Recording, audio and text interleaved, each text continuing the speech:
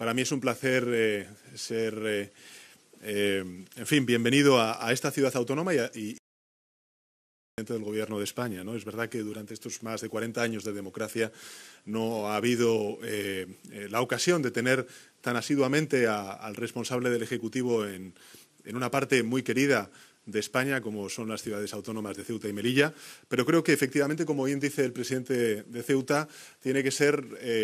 algo habitual, algo normal, que si demuestra algo es precisamente el compromiso, en este caso, del Gobierno de España con esta importante ciudad autónoma y, desde luego, todo aquello que, se ha señalado, y es el que hay un plan integral, que sobre todo lo que obedece es dar perspectiva, dar futuro, dar un horizonte a los ciudadanos y ciudadanas de esta ciudad española.